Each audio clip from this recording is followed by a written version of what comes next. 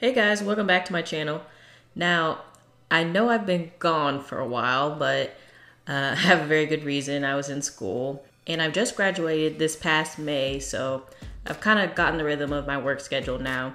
And I want to get back to making YouTube videos and putting out content that um, you know I'm interested in, topics I'm I'm interested in, and hopefully topics that you guys may be interested in. And I think YouTube is a great way to uh, connect with other people. And yes, I'm back. And uh, today I want to discuss natural hair. So, recently we've seen a big boom in the natural hair community. You know, many more black women embracing their natural hair. I mean, you can see it in all the commercials, on television, you know, advertisements. You see more afros and braids. And yeah, it's really an amazing thing. But there are many black women who still don't, you know, embrace their natural hair. And a lot of them get relaxers or they straighten their hair, you know, or wear wigs. And um, this video is, you know, not to offend any, anyone because everyone has the right to make their own decisions.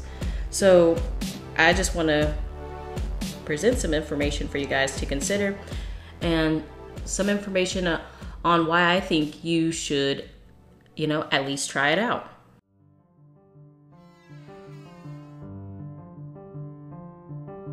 So when we take a look at history, the actual inventor of relaxers is Garrett Augustus Morgan. And I'm going to read a little information about his early life and what he did with this invention and um, his own hair company that he started.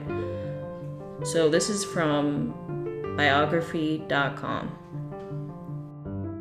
With only an elementary school education, Garrett Morgan, born in Kentucky on March 4, 1877, began his career as a sewing machine mechanic.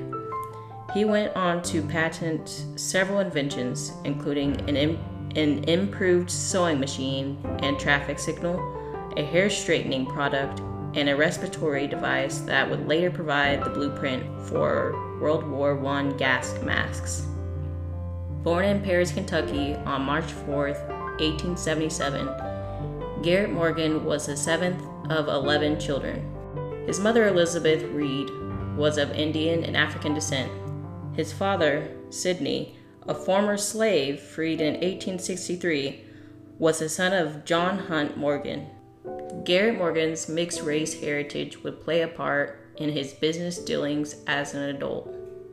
Following the momentum of his business success, Morgan's patented sewing machine would soon pave the way of his financial freedom. In 1909, Morgan was working with sewing machines in his newly opened tailoring shop when he encountered a woolen fabric that had been scorched by a sewing machine needle.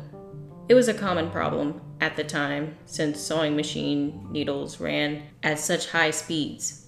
In hopes of alleviating the problem, Morgan experimented with a chemical solution in an effort to reduce friction created by the needle, and subsequently noticed that the hairs of the cloth were straighter.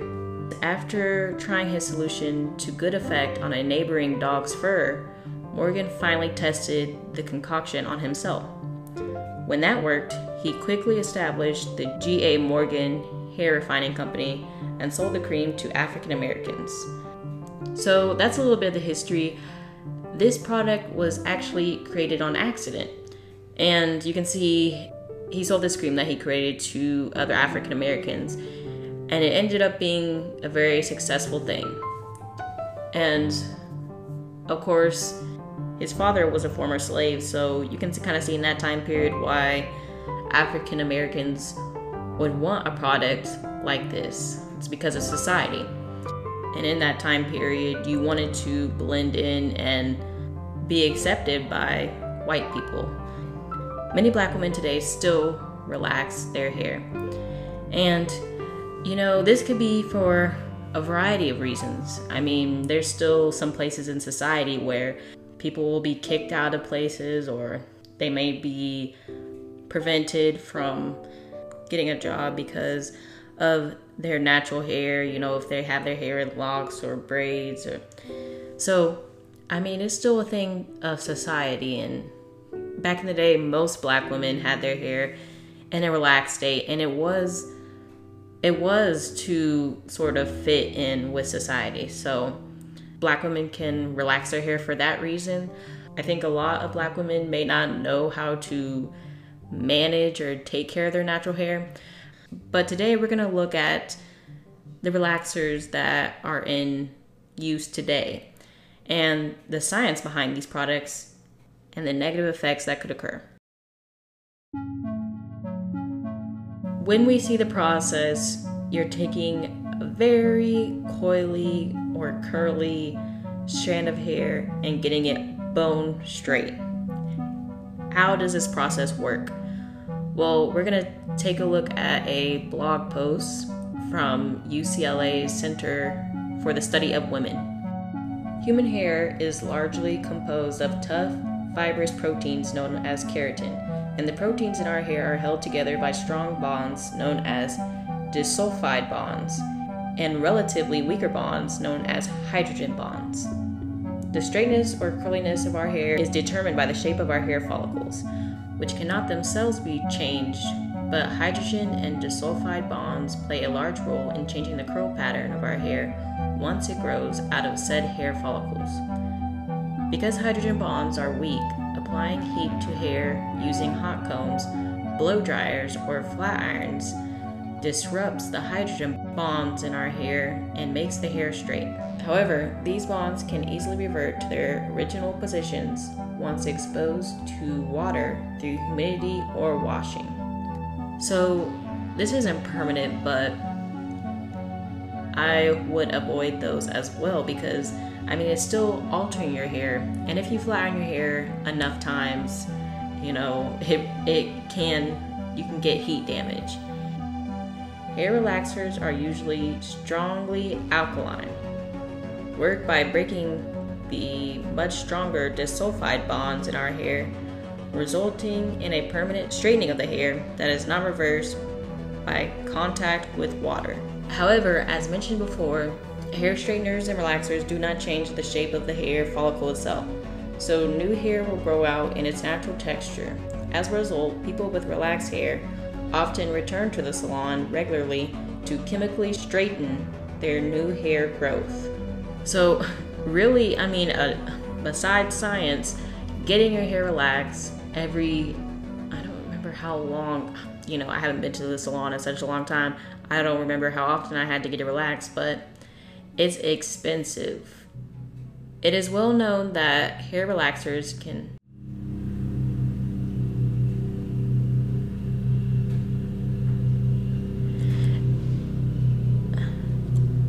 It is well known that hair relaxers can have undesired effects on the hair itself, such, such as making hair lighter over time, making hair more prone to breakage, and causing hair thinning and even hair loss.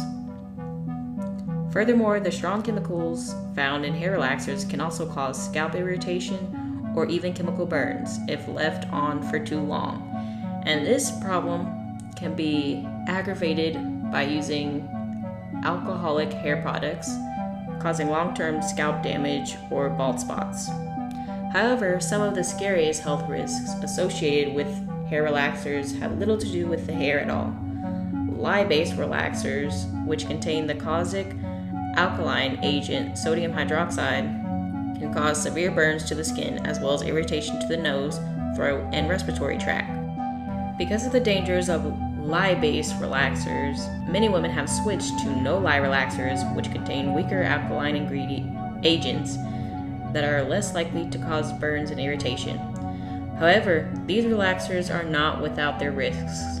For users of both lye and no lye relaxers, there is a high risk of dermal absorption of the toxic chemicals in these relaxers because of the scalp lesions and burns that often form during treatment.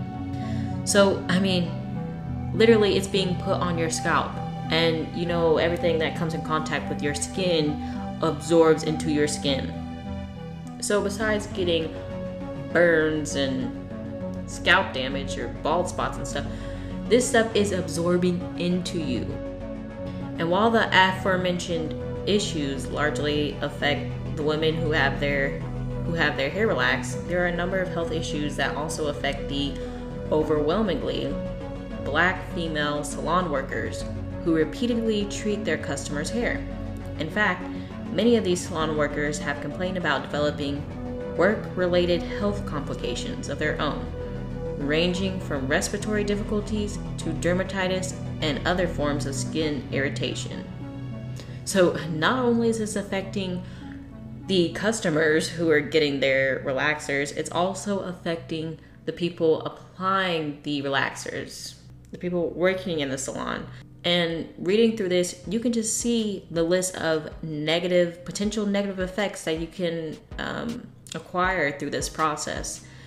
The chemicals and relaxers are not good for you. And we're gonna look at ingredients of one of them, which, you know, it's funny how the packaging on certain products is. And I think more of the packaging is turning to this nowadays because a lot of people are looking for natural alternatives, you know, healthier products and food to consume nowadays because I think people are starting to become more health conscious. But let's take a look at this one this uh, relaxer that you can buy at Walmart. It's called ORS Olive Oil Full Application No Lye Hair Relaxer. Now, what kind of draws you in about the packaging? You know, it's got that green color. So, oh, look, this is a natural one. and then it has olive oil on there to make it seem more natural. And, um, yeah, it, it tries to draw you in like that, but let's take a look at the ingredient list. Okay, it says olive oil, built in protection, no lye hair relaxer base. First ingredient water. Okay. Petroleum. Mm. Paraffin. Paraffinum liquidum. That's a mineral oil mineral oil, uh, alcohol, calcium hydroxide, propylene glycol, PEG 75, linoleum, polyquaternium 22, Olea europaea, olive fruit. Okay, that's olive fruit oil. That's supposed to be the olive oil right there. Which ingredient is that? That's, see, one, two, three, four, five, six, seven, eight. That's the ninth ingredient on the list. So of course they're gonna put olive oil, olive oil in the title of the relaxer on the packaging, but it's the ninth ingredient in the list. I mean, it might as well just be this.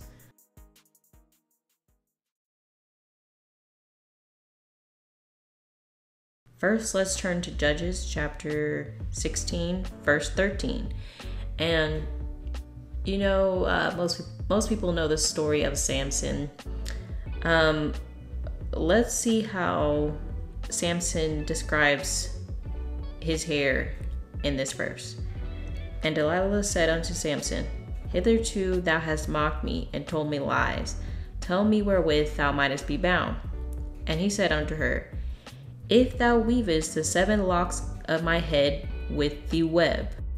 You can see here he has seven locks. So, and he was of the tribe of Dan too. When you read in Judges, so he was one of the Israelites. So that's one scripture you can look at uh, referencing hair. And also in Daniel chapter 7, there is a description description of the Most High's hair Let's take a look at that. Daniel chapter 7. Let's start in verse 1 to get more context of what this chapter is talking about. It says, In the first year of Belshazzar, king of Babylon, Daniel had a dream and visions of his head upon his bed.